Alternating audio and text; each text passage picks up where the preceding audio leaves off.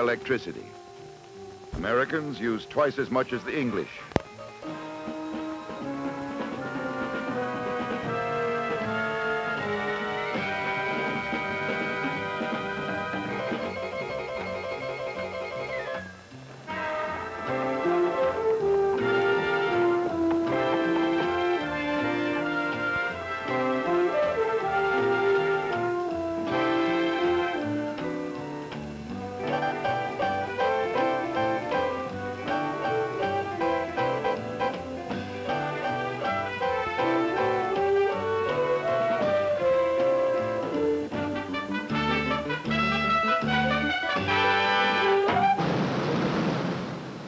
Electricity is born as energy.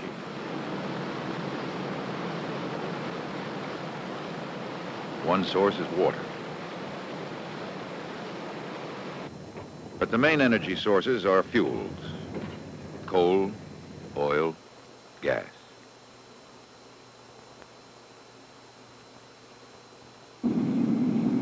Our country is rich in fuels, especially rich in coal.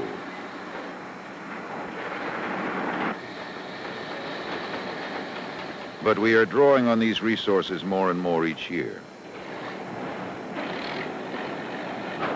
We will consume as much fuel in the next two decades as we did in the last two centuries. Most power plants today use coal. It will remain for some years the principal source of energy for producing power.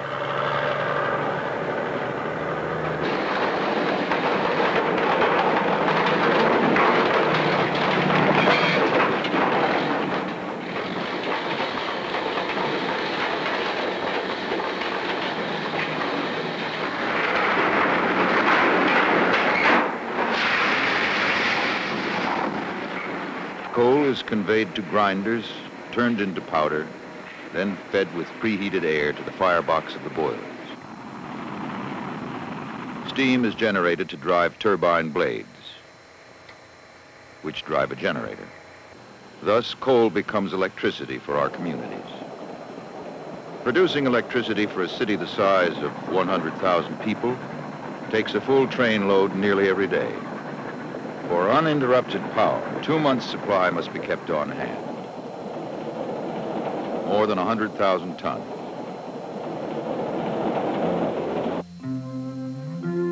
This is atomic fuel, an even greater resource at work today. These metal rods contain the atomic fuel uranium. A single rod will provide the same heat energy as 200 tons of coal. Here in the fuel shop, a cluster of rods is fabricated to form a fuel assembly. Each assembly equals five or 600 carloads of coal, 40,000 tons. A few dozen fuel assemblies brought in by truck will supply an atomic power plant with all the fuel needed for about a year. In a time of rising costs, a unit of electrical power costs no more now than it did 20 years ago. By providing a competing energy source, atomic fuel is helping utilities to continue keeping electrical costs down. What about this new source of power? How do atomic power plants work? How safe are they? The basic difference between conventional and atomic power plants is the source of heat. Understanding atomic power begins with understanding how the atomic fuel is made to release its heat energy when put to work in an atomic reactor.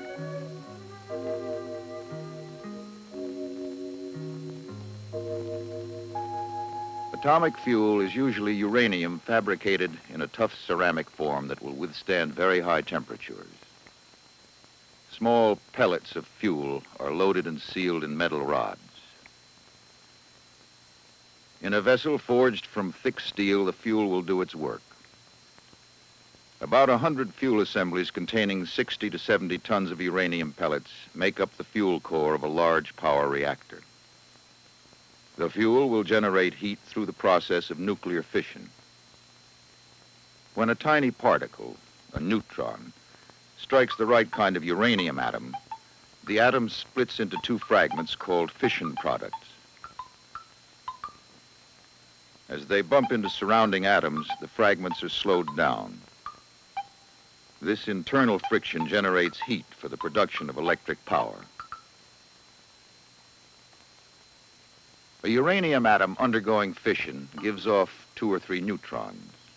If one of these causes another uranium atom to split,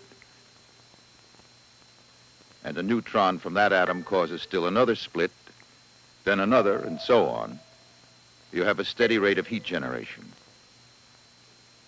In the fuel used in atomic power plants, only a small fraction of the uranium is the kind that will readily undergo fission. Thus, this fuel is relatively dilute. Nothing like the highly concentrated, essentially pure fissionable material used in atomic bombs.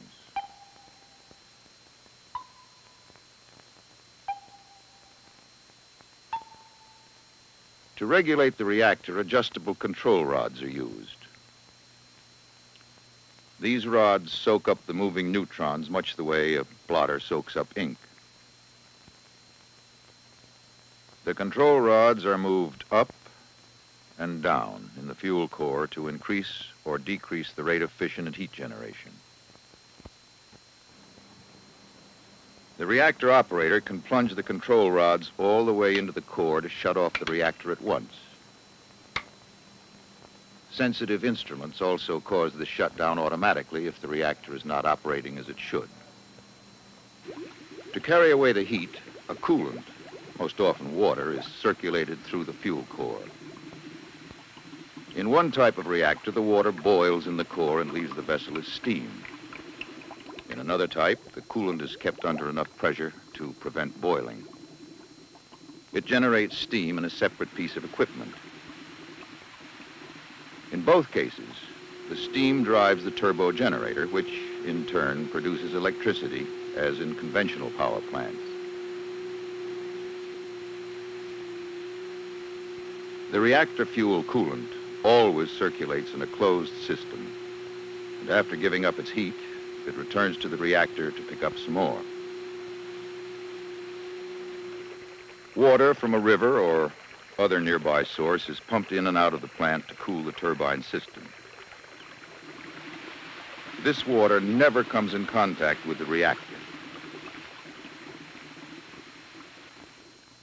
As each fuel atom splits, fission products, minute ashes, are formed.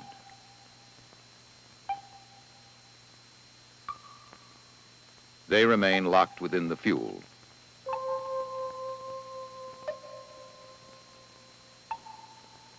About once a year, used fuel assemblies are removed from the reactor. They are stored underwater because they are very radioactive due to the fission products inside. To allow time for some of the radioactivity to subside, they remain here for several months. The water blocks the radiation and cools the assemblies.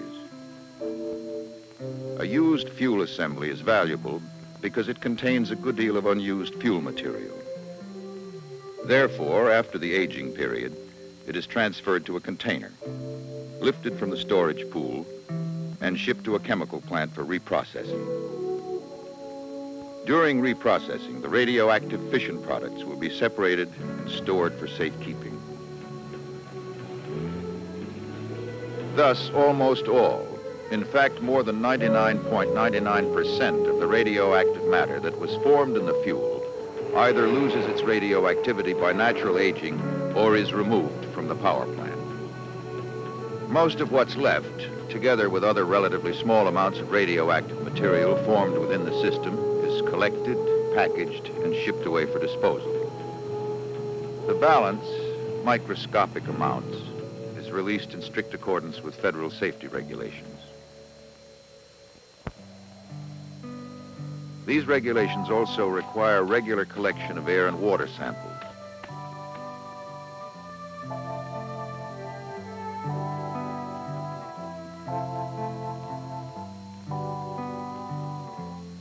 This air filter sample, along with others, will be precisely analyzed in the laboratory and will provide continuous information of the plant's environment.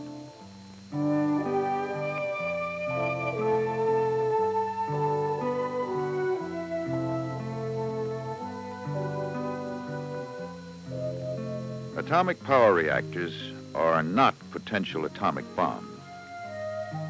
The dilute nature of the fuel and basic reactor principles and design make an atomic explosion an impossibility. Safety is strictly a matter of keeping the radioactive material confined. Under normal conditions, this material remains tightly locked within the fuel. Only if a fuel assembly were to overheat to the melting point could a significant amount of fission products escape from the fuel. They would then be confronted with a succession of barriers.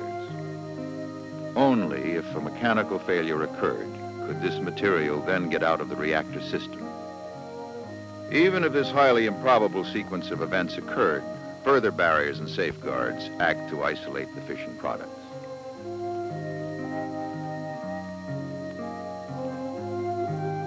Many safeguards are provided to prevent these things from ever happening. For example, the fuel material used has a remarkable ability to retain fission products. Furthermore, it is sealed, which acts as a barrier against fission product escape.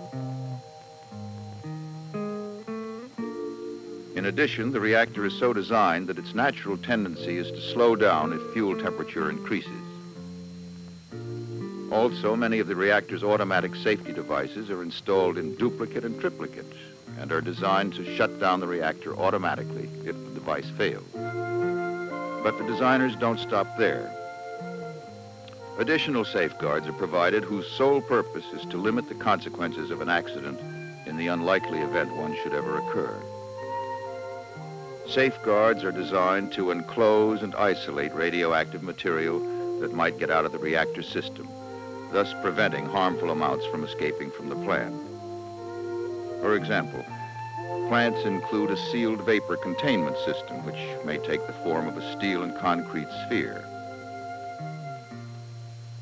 All of this is like designing an unsinkable ship and then wrapping a life preserver around it. Plans for an atomic power plant begin with careful study by the utility company.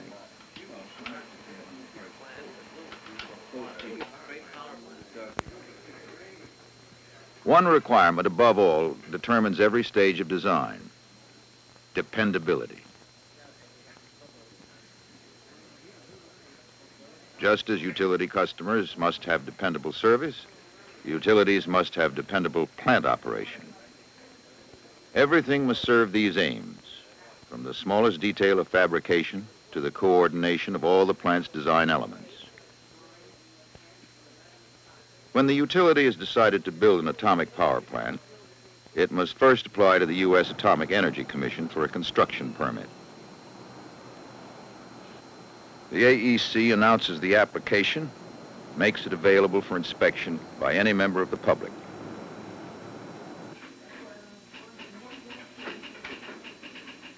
State and local officials are also provided copies.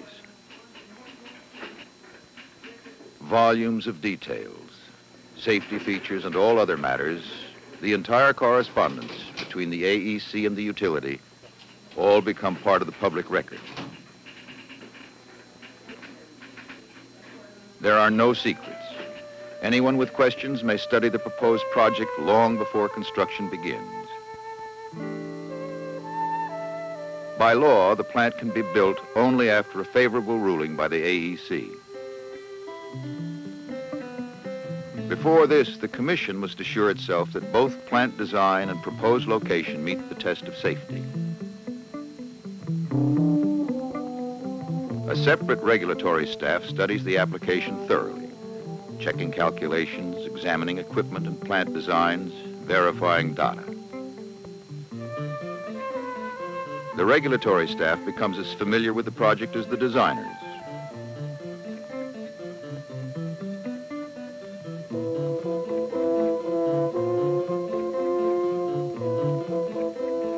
Another group the Advisory Committee on Reactor Safeguards makes a parallel review of the application. This committee, established by law, is made up of specialists drawn from universities and industry. Giving the AEC an independent evaluation of safety matters is their particular responsibility. Their views and those of the AEC's regulatory staff are added to the public record, available to all.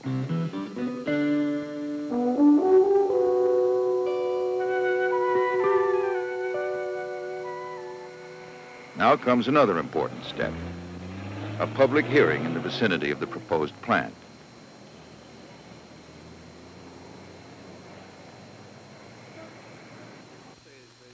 Details. Following the hearing and after further detailed study of the record, the board, if it is satisfied that the project fully meets AEC requirements, recommends that a construction permit be issued. Their recommendation is then reviewed by the Atomic Energy Commissioners.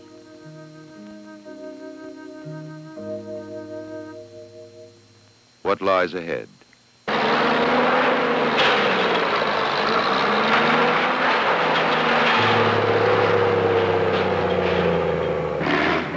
Three years of construction.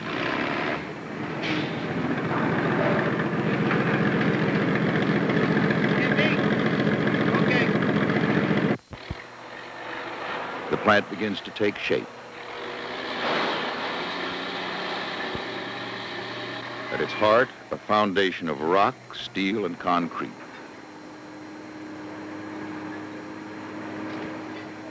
Here, the reactor vessel will be placed.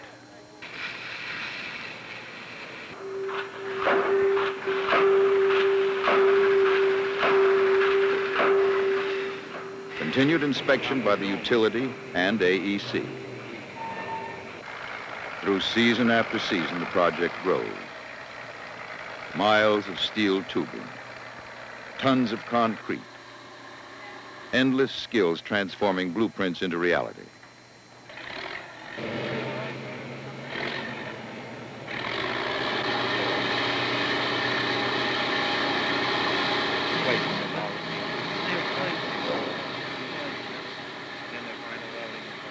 The steel and concrete housing for the reactor nears completion.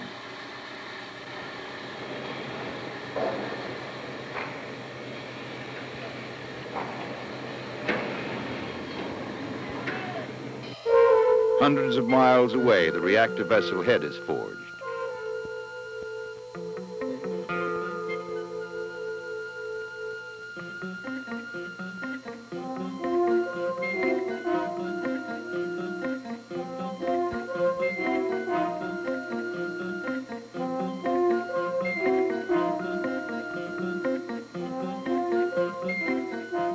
Reactor vessel is finished, the entire unit is taken to the plant site.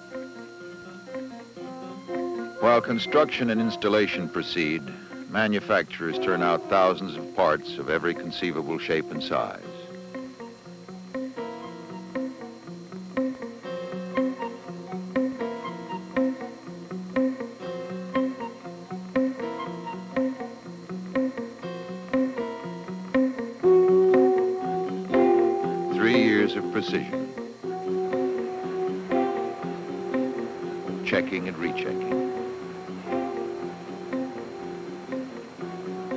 Three years of workmanship and quality control. Dependability.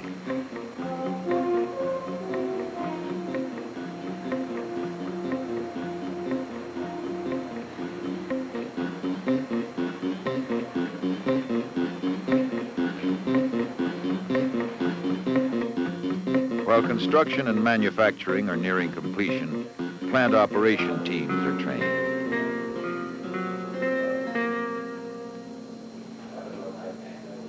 The men who will run the reactor must obtain a special AEC license. The plant is now staffed, ready for operation after years of preparation. The first shipment of atomic fuel begins its journey to the reactor.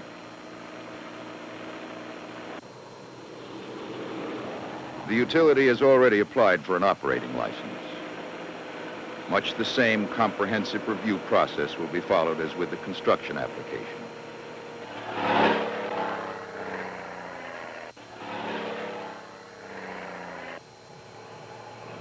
Now that the plant is built, the AEC review can include all details and procedures as they exist, not just in plan, but in fact. The review is completed. The license approved. Beyond this, AEC inspections will continue for the life of the plant. Final pre-operational tests are performed. The fuel assemblies are given a final check.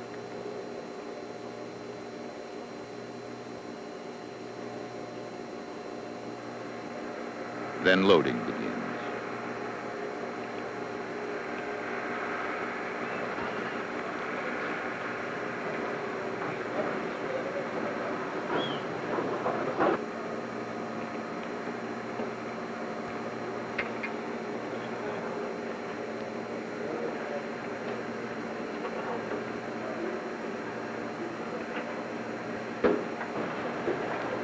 The assemblies are lowered underwater, there to be guided into final position.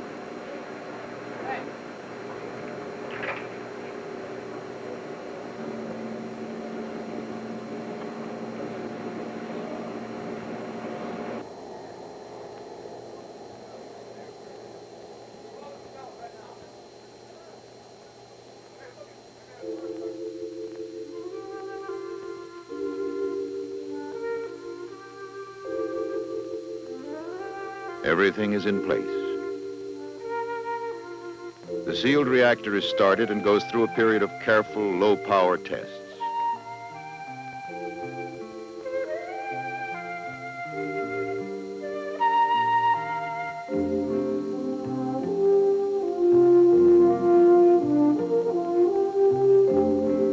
Then the day comes. Quietly, without fanfare, the plant goes on the line. The new facility joins the growing number of atomic power plants supplying electricity across the nation.